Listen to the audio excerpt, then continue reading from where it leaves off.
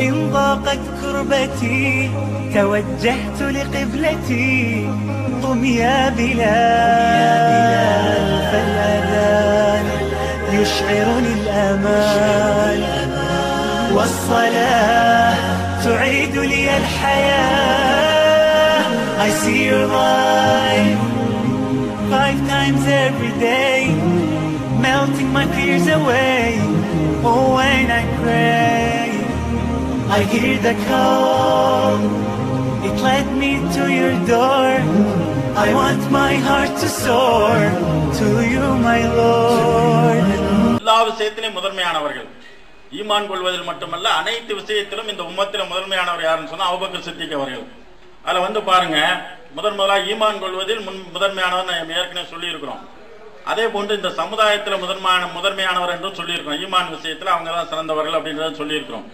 அதே போன்று இது மாத்திரமல்ல. தன்னுடைய செல்வங்களை அள்ளி கொடுப்பதில் முதன்மையானவராக திகழ்ந்தார்கள். இந்த மார்க்கத்திற்கு ஏன்னா ஆரம்பத்தில் இஸ்லாத்தை ஏற்றுக்கொண்டவர்ல ஓரளவுக்கு செல்வந்தராக இருந்த யாருன்னு சொன்னா ஒண்ணு ஹதிஜாமா. ஹதிஜாமாவுடைய செல்வங்கள் இஸ்லாத்திற்கு பயன்பட்டது முழுமையாக பயன்பட்டது. அதற்கு பின்னால் யாருடைய செல்வங்கள் பயன்பட்டதுன்னு சொன்னா அவுபக்க சித்திக் ரலீலாவுடைய செல்வங்கள் பயன்பட்டது. ரசூல் சலாசம் அவர்களே சொன்னாங்க என்னுடைய தோழமை என்னுடைய அவுபக்கர் இருக்காங்களே அவர்கள் என்னுடைய எனக்கான தோழமையிலும் தன்னுடைய பொருளாதாரத்திலும் எனக்கு எல்லா வகையிலும் ஒத்துழைப்பாக இருந்தார்கள் உறுதுணையாக இருந்தார்கள் என்று ரசூல் சலாசம் அவர்களே சொல்லியிருக்கிறார்கள். இப்படி செல்வத்தை இந்த மார்க்கத்திற்காக அள்ளி கொடுப்பதில் அவுபக்கர் சித்திக் அவர்கள் யாராலும் முந்தவே முடியாது என்ற நிலைதான் கடைசி வரைக்கும் வந்தது எந்த அளவுக்குன்னு சொன்னா உமர் அலி அவர்கள் ஒரு முறை வந்து முந்திரன்னு பாக்குறாங்க எல்லா வகையிலும் அவுபக்கர் நம்ம ஒரு காலம் முந்த முடியலையே. உமர் அலி அவர்கள் சிறந்த சகாபி. ஃபர்ஸ்ட் அவுபக்கர் சொன்னா ரெண்டாவது இடம் யாரு? உமர் அலிலான் அவர்கள் தான். எல்லா இடத்துலயும் சரி. அப்ப அவங்க உமர் அலிலான் அவர்களே எப்படியாவது ஒரு இடத்துலயாவது நாம என்ன சொன்னோம் ஒரு விஷயத்திலயாவது அவுபக்கர் அலிலான் முந்திரணும் அப்படின்ற ஒரு ஹாஜத் அவருக்கு ரொம்ப நாளாவே இருந்துச்சு. அப்போ ஒரு நேரத்துல ரசூலுல்லாஹி ஸல்லல்லாஹு சொல்றாங்க தான தர்மங்கள் தர்மங்களை செய்யுங்க அப்படின்னு அறிவிப்பு செய்யறாங்க அறிவிப்பு செஞ்ச உடனே நபித்தோழர் என்ன செய்றாங்கன்னா அவரவர்களுக்கு சக்தி உட்பட்டு வீட்டுகளில் இருந்து பொருள்களையும் செல்வங்களையும் கொண்டு வந்து அல்லாவுடைய தூதர் முன்னால் கொட்டுறாங்க. அப்படி கொட்டும் போது உமரலிலாம் நினைக்கிறாங்க செல்வம் பொருளாதார விஷயம். இந்த இடம் எப்படி இந்த பொருளாதார விஷயத்துல அவபக்கம் நம்ம முந்திடணும் மற்ற அமல் விஷயத்துல அதுலாம் எப்படியோ? ஆனா இதுல எப்படியாவது இந்த இடம் முந்தியே ஆகணும் அப்படின்னு அவங்களுக்கு ஒரு காஜத்துல நினைச்சிராங்கன்னா வீட்டுல உள்ள செல்வத்துல சரி பாதிய மூட்டை கட்டி கொண்டு வந்து ரசூல் அவங்க வீட்டுல முன்னாடி வந்து கொட்டிடுறாங்க. கொட்டின உடனே வந்து அடுத்து வந்து அவுபக்கர் சித்திக் அவர் வந்து அவர்கள் என்ன செய்றாங்கன்னா தன்னுடைய செல்வத்தை கொண்டு வந்து கொட்டுறாங்க. தன்னுடைய செல்வத்தை கொண்டு வந்து கொட்டுறாங்க. கொட்டின உடனே இந்த நேரத்துல ரசூலுல்லாய் சலாம் கேட்கிறாங்க உமர் அலிலான் அவர்களை பார்த்து கேட்கிறாங்க. உமர் அவர்களே நான் அறிவித்தவுடன் உங்களுடைய செல்வங்களை தான தர்மங்களுக்காக கொண்டு வந்துட்டீங்க.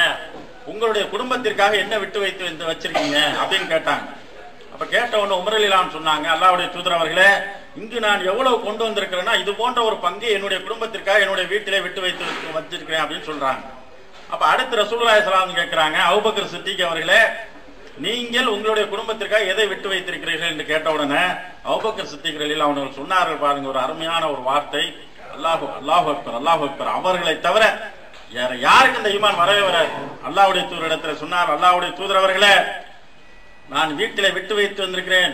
எதை தெரியுமா? அல்லாஹுமே அவனுடைய தூதரையும் விட்டு வைத்து வந்திருக்கிறேன். வேற எதை நான் வீட்டுல விட்டு வச்சுக்கல? எல்லாத்தையும் வழிச்சட்டு வந்தாச்சு. யாரை விட்டு வச்சிருக்கிறேன்? அல்லாவை விட்டு வச்சிருக்கிறேன் அல்லாவுடைய தூதரை விட்டுட்டு வந்திருக்கிறேன். எனக்கு இது போதும். முடியுமா? யாரால சொல்ல முடியும்? நம்மளால முடியுமா? யாரால முடியாது. இந்த உலகத்துல மிகப்பெரிய எவ்வளவு கோடீஸ்வரன் கும்பனா இருந்தாலும் சரி அவன் வீட்டுல அவனுடைய குடும்பத்திற்கு அவனுடைய பின்- பிற்கால சந்ததிக்கு ஏதாவது வச்சுட்டு தான் தான தர்மம் வந்து அதான் மார்க்கமும் கூட. மார்க்கமே என்ன சொல்லுன்னு சொன்னா உங்களுக்கு போகத்தான் தான தர்மம் பண்ண சொல்லியிருக்கு. ஆனா நம்ம ஈமானுடைய கௌவி அந்த உறுதியை பாருங்க அல்லா போது நமக்கு இந்த செல்வம் என்ன அல்லா கொடுத்தது தானே நாளைக்கு நினைச்சா அல்லா இதோட பண்பனுக்கு தருவான்ற நம்பிக்கை அந்த உறுதி. அந்த உறுதியை தான் நம்ம அங்க பார்க்குறோம். அங்கு சுத்தமாக எடுத்து வைத்து வந்து அல்லாஹ்வுமே அவனுடைய தூதரையும் வைத்து வைத்திருக்கிறேன் என்று அவுபக்கர் சித்திகளில் அவன் சொல்றாங்க. அப்ப உமரலில் அவன் சொல்றாங்க. அவுபக்கர் அவர்களை எப்போதுமே வெல்ல முடியாது. யாரு? அவுப உமரலில் அவன் முடிவு பண்ணிட்டாங்க. அவங்கள வாயால் சொல்றாங்க. உ- அவர்களை எப்போதும் முந்த முடியாது என்று நான் எண்ணிக்கொண்டேன் என்று சொல்றாங்கன்னு சொன்னா அப்ப செல்வத்தை அள்ளி கொடுப்பதிலும் வந்து முதன்மையானவராக இருந்திருக்கிறார்கள். அதே போன்று